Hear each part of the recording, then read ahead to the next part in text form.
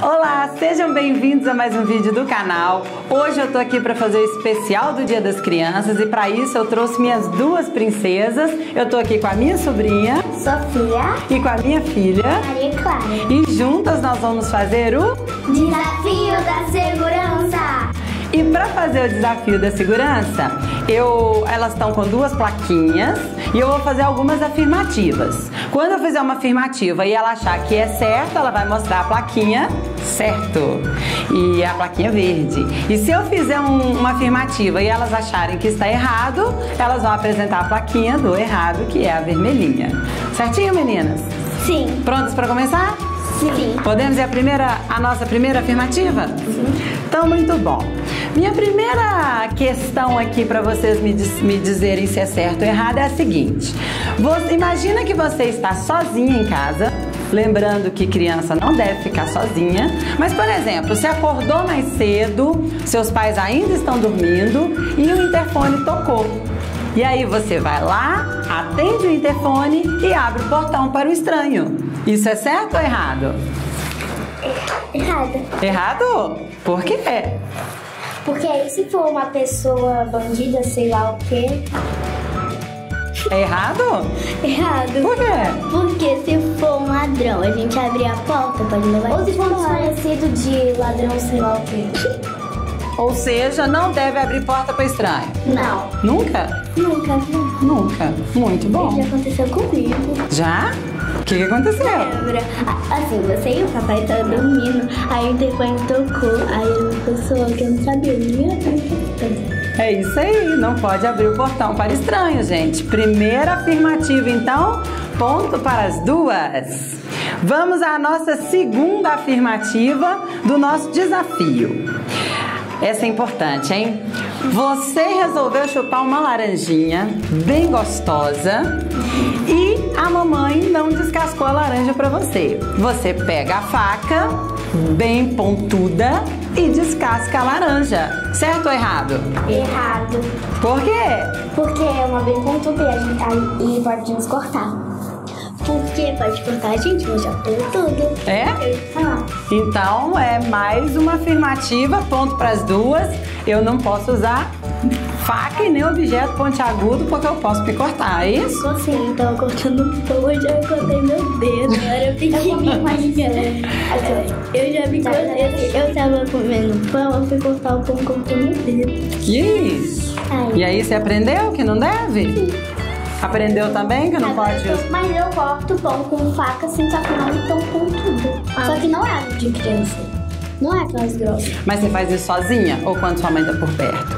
Ela te ajuda. Às vezes quando ela tá lá na cama, tipo, assistindo os vídeos assim, bem desenhos, aí eu corto.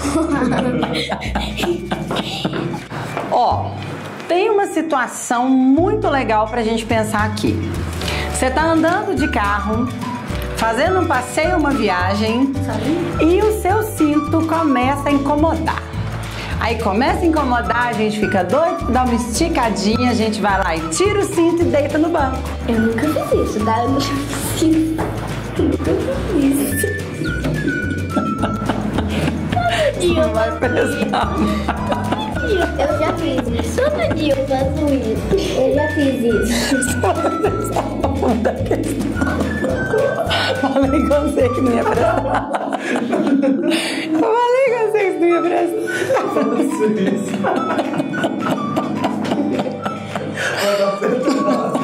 Errado.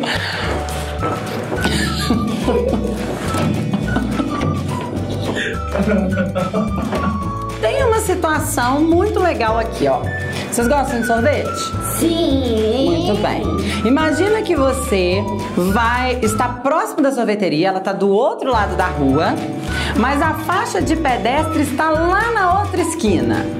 O que, que a gente faz? Atravessa rapidinho naquele lugar mesmo, só porque eu preciso chegar rápido à sorveteria. Certo ou errado?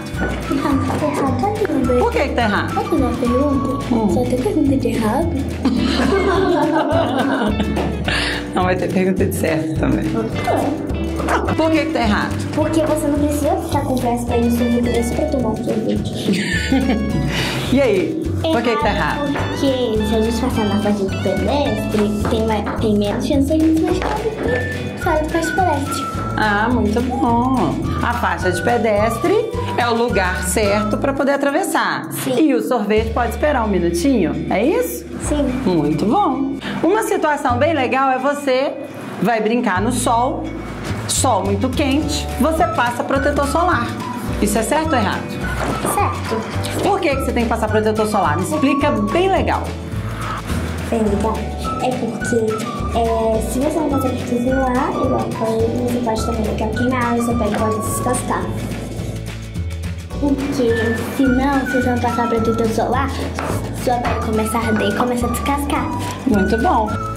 Isso é bom? Ficar queimado e descascado? Não. Já aconteceu? Já. É? E aí hoje você usa protetor? Sim, eu já fiquei queimada, aí eu, minha pele começou a arder. Hum, então a gente usa protetor não só para ir na praia ou piscina. Sim. Lá também, né? Pra brincar. Na pracinha. E se tiver muito sol, muito quente, aí tem que passar prote- protetor solar. Muito bom. Então proteção é sempre bom. Sim, sim. Muito bom. Então criança protegida é criança sem pele ardida. Não é assim? Sim. Tenho mais uma questão aqui para vocês me responderem. Qual? Estamos no sítio da Tia Rosa. Alguém conhece? Sim. Essas duas conhecem. Lá no sítio da Tia Rosa tem algo que elas amam. O que, que é? Piscina. Piscina e parquinho. Mas o principal é a piscina. Porque não sai da água, né? De jeito nenhum, né? É. Agora eu quero saber o seguinte: eu tenho uma dúvida. Terminou aquele almoço maravilhoso que tem lá no sítio da Tia Rosa, barriga cheia, todo mundo bem pesado. Pula na piscina? Não. Em seguida? Não, porque você também, você pode até vomitar e você pode passar muito mal. Porque você pode vomitar e a piscina pode ficar muito ruim, cheiro muito ruim. Não deve ser nada agradável, né? Nem um pouquinho. Muito bom. Então, eu não devo entrar na piscina de barriguinha cheia.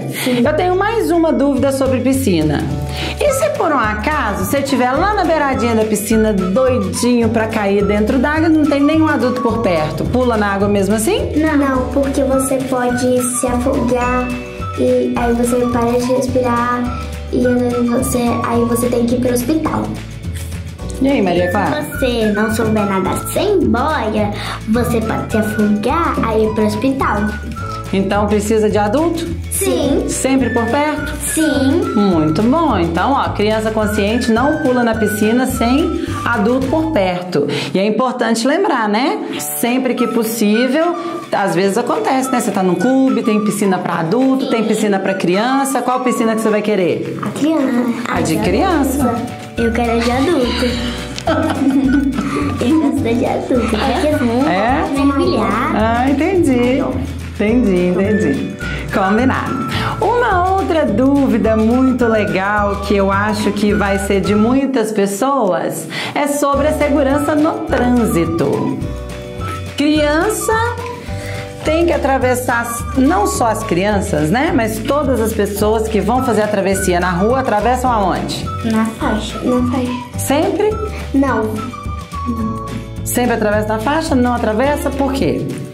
Porque. Porque assim, as pessoas querem ir em um lugar e estão com pressa. Aí quando elas vão passar, elas preferem passar fora da faixa do que na faixa. Isso é certo ou errado? Er- errado. E também que elas podem ser atropeladas. Ah, muito bom. A faixa, então, é o lugar apropriado. Sim, para as pessoas passarem. Ah, muito bom. E a gente passa no sinal? Verde, verde. Não, assim, dos, dos pedestres é verde, mas o dos carros é vermelho. Ah, muito bom. Então, na hora de atravessar, se tem o semáforo, eu tenho que esperar ficar Verde. vermelho para os carros, verde para o pedestre. Sim. É isso? Sim. Ah, muito bom, muito bom. E agora eu quero falar das brincadeiras, né? Ih, brincadeira. Brincadeiras, brincadeiras. Vocês brin... Tem segurança nas brincadeiras? Sim. Sim. Tem como ter segurança nas brincadeiras? Sim. O que, que vocês acham que dá para ser seguro na brincadeira? É, patins, porque também tem, a gente tem que usar, porque a gente também tem que usar capacete e as outras coisas necessárias. A gente tem que usar tudo para não se machucar. Então me conta, qual brincadeira você mais gosta? Ah, eu gosto de pega-pega, balanço. Eu sou muito viciada em balanço. É? E você, Maria Clara? Eu gosto de uma brincadeira e de um jogo também. A brincadeira é escorrer. A brincadeira, que é o mesmo de jogo, é o coração e o segredo. É muito difícil. É muito fácil de jogar. E também a, o meu, a meu jogo favorito. Não, assim, o que eu gosto de brincar mesmo, de verdade, é de massinha. É? E massinha dá pra brincar com segurança, né? Sim, Ah, sim. muito bom. Mas, tipo, se for um bebê. É? Mas se for um bebê, aí é, ele. Ele não vai saber se pode comer ou não. Ele tem a capacidade de comer, então pode ter uma. Ah, então a Sofia lembrou de algo importante. Segurança. É? Pra não falar quem é o coração, quem é o segredo. Hum, entendi. Para o segredo. Para. Não. Para o segredo não falar quem é o coração. Entendi. E a Sofia lembrou de uma coisa muito importante: dependendo da idade da criança, ela pode comer a massinha. Ou seja, Ou pode se machucar no balanço. então é importante, sabe o quê? Respeitar as idades recomendadas nos brinquedos. Sim. Todos os brinquedos vêm. brinquedo vem tipo assim, vem uma carinha e vem ela riscada e vem tipo menos de vem o sinal de menos e três, que é menos de três anos. Ah, tipo é proibido para menos de 3 anos? é, ah, tipo, entendi. Também tipo de amoeba, porque aí, igual que eu falei sobre a massinha, uma, um bebê, uma criança não sabe um- e um responsável, um adulto não está por perto, é a criança pode começar com essa massinha e tem que levar para o hospital. É igual o slime, mas o slime tem como fazer comestível. Ah, aí é outra história, né? Aí a gente criou uma forma de fazer uma que dá pra comer. Sim. Ah, então. Porque de- aí também um bebê ou a criança que ainda não É de sabe marshmallow. pode, pode comer e não passa mal. É slime de, é, de marshmallow. É slime. Ah, entendi. Essa, e essa é boa. Sim, eu Muito bom. fiz. Então, uma dica: respeitem sempre a idade do brinquedo, porque além de ter coisas comestíveis que não são comestíveis, igual a moeba e a massinha, Anticomestível. a gente pode ter também pecinhas pequenas que podem ser engolidas pelas crianças. O Lego tem E pecinha pode também pequena. ficar preso. Então, Engasgar. É engasgar. Falando de engasgar, vou deixar aqui no iCard um vídeo que eu já fiz ensinando a desobstrução respiratória, né? Você viu? Ah, muito bom. Aquele vídeo é importantíssimo. É Lei Lucas, isso mesmo.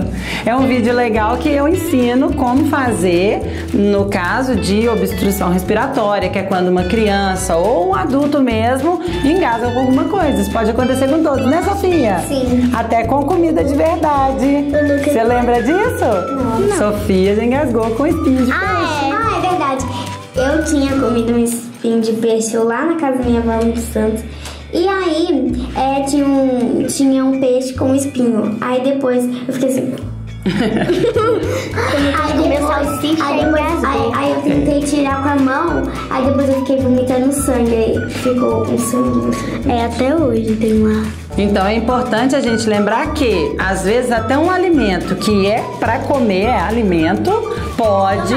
Tem que tomar cuidado, a gente pode peixe. machucar. Porque um dia minha avó já me falou que o peixe que ela fez era sem espinho, mas tinha um monte de espinho dentro dele. Também, meu pai, ele também foi fazer um almoço de peixe e aí ele também, eu perguntei assim pra minha mãe, mãe, tem espinho esse peixe? Porque eu, eu tenho trauma de peixe, mas eu gosto, porque também eu, lembro- eu, eu lembro daquele dia, eu penso, meu Deus, será que eu lembro? A mesma coisa que eu penso.